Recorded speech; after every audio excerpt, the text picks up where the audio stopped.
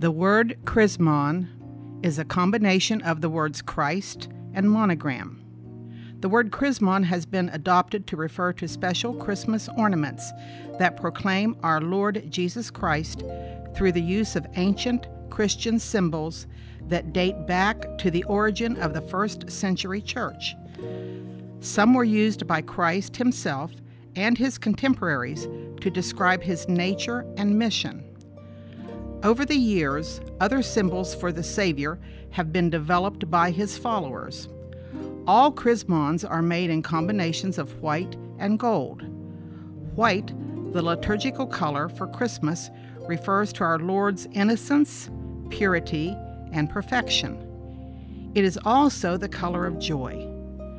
The use of gold suggests kingliness, wealth, majesty, and glory, and like the color white, is derived from biblical usage. The tradition of the Chrismon tree began with Lutheran pastor George Pass in Danville, Virginia in 1940, when he began crafting symbols about Jesus Christ out of leftover Christmas wrapping paper. He hung these symbols on his church's Christmas tree. Mrs. Frances Spencer, a member of the Ascension Lutheran Church in the same town, further developed certain symbols that were appropriate for a church tree. Since then, many church congregations have made chrismons for their church to use during the Advent season. In the late 70s, a group of church members of Drummond, which is now Suncrest United Methodist Church, decided they would make chrismons. According to Dora Fay, the Reverend Paul Smith's wife, the women made the chrismons in a group workshop.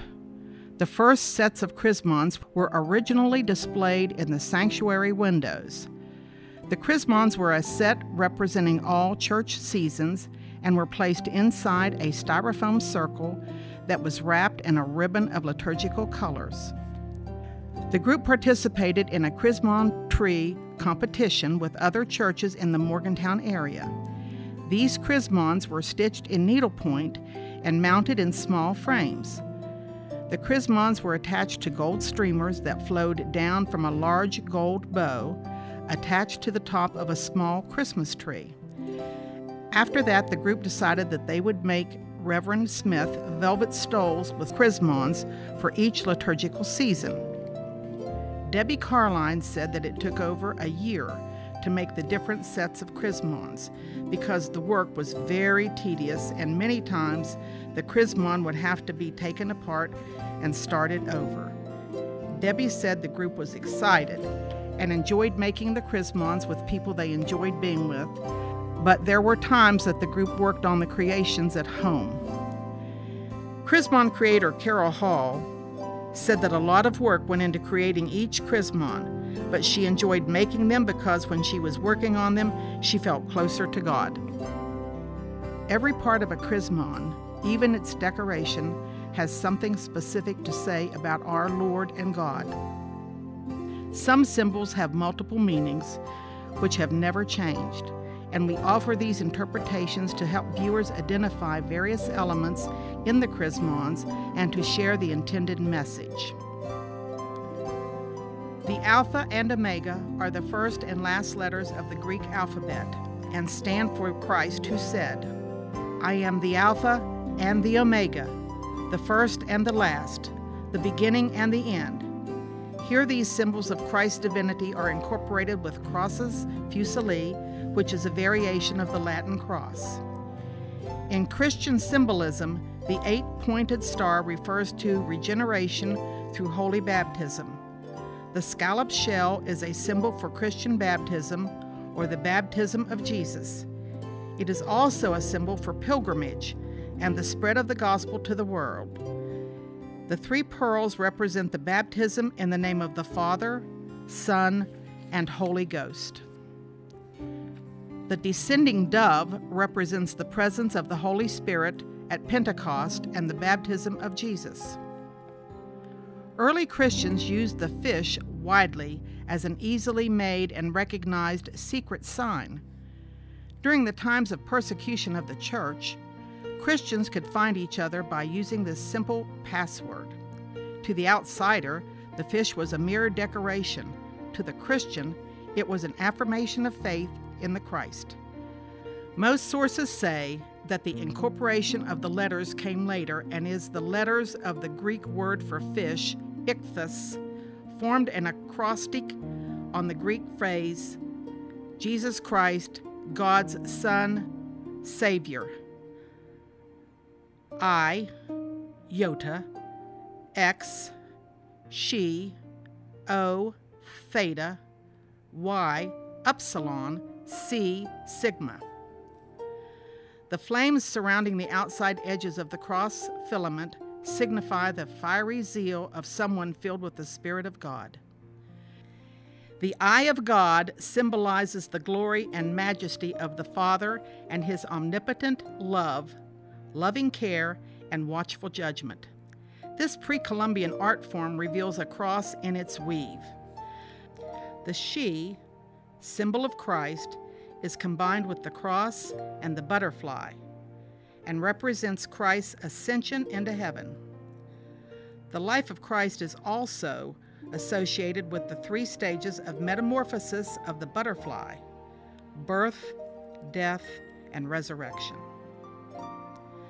The cross of Constantine is made with the two letters in the Greek alphabet, chi and rho. The X CH is turned to form a cross. The P, R, is the letter with the X, CH, that stands for the Christ, the conquering King. Constantine saw the sign of the cross in the sky and became a Christian. He made it a law that everyone had to be a Christian. Here, double wedding rings, a modern marriage symbol, are attached below the arms of the cross suggesting Jesus' blessing on the union. The apostle, St. Andrew, was crucified on an X shaped cross because he wasn't deemed worthy of dying on the traditional cross of the crucifixion. The Yoda, I, is the first letter of our Lord's given name, Jesus, in Greek.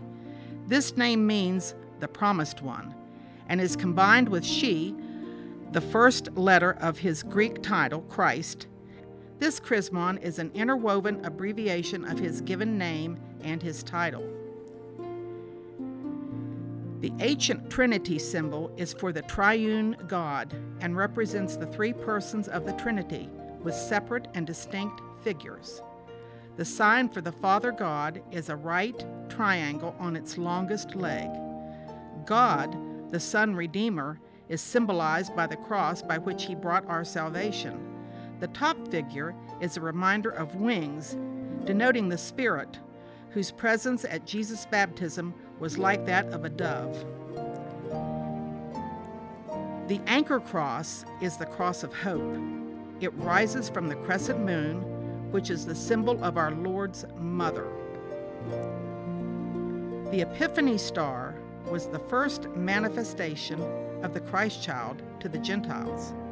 The star led the three wise men to the Nativity. The Christmas rose symbolizes the Nativity of our Lord. The crown of thorns represents our Savior's crown of suffering. The fish is the Christian affirmation of faith, and the intertwining serpents is the symbol for healing and wisdom. The original meaning of the Celtic cross, so popular today, is lost in antiquity. While the Celts probably originated this design, there is no certainty about the meaning which they may have intended for the circle. Some believe it to be a symbol for eternity. Elaborate carvings adorn many ancient Celtic crosses, and this one is embellished with the serpent, while others may have medallions, basket weaves, or vines. The combination of a triangle and the trefoil, a stylized shamrock used by St. Patrick to illustrate the Trinity, both are symbols of the Trinity, three persons united in one. Another variation of the Trinity is the triune, which has a combination of three different elements. In the center is the shamrock. It is said that an Irish priest, Patrick, first used the shamrock to attempt to explain the inexplicable nature of one God in three persons, or Holy Trinity. The equilateral triangle has three separate and distinct sides. It has been used for centuries to suggest the one God who has presented himself to man in three different ways. The endless circle defines the eternal nature of God, who was before time and who will be when time is no more. The Latin cross is the most common form of the cross, and it is on this form that our Lord was crucified. This cross is a reminder of Jesus' suffering, which provided the gift of eternal life. The resurrection cross depicts the rising sun behind the cross, which symbolizes the new day, which promises the forgiveness of our sins.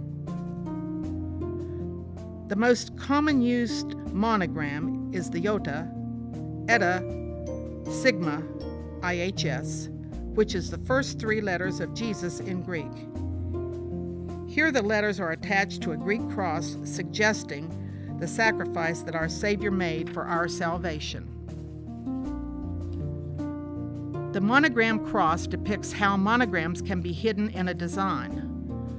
Among the letter combinations that are readily discernible are XP, XPC, and IC, and XC for Jesus the Christ.